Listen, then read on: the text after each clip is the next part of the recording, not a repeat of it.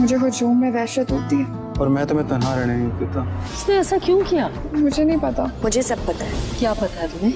ये मुनासिब जगह नहीं ये सब बातें करनी। उसे तो हमारी मरियम से चिड़ है। हकीकत जानती है ना उसकी। पता था तुम्हें कि अगर मुझसे पूछोगे तो मैं तुम्हें हरगिज जाने नहीं दूँगी। बात क्या है? बस वो लड़की एक आँख मुझे नहीं भाती। तुम उसकी हर बात इतनी आसानी से कैसे मान जाती हो? वो मैं नहीं मानती वही मेरे पीछे पड़े रहते हैं। कल को वो पीछे पड़ गया कि उसे तुम्हें अपनी ज़िंदगी का साथी बनाना है तो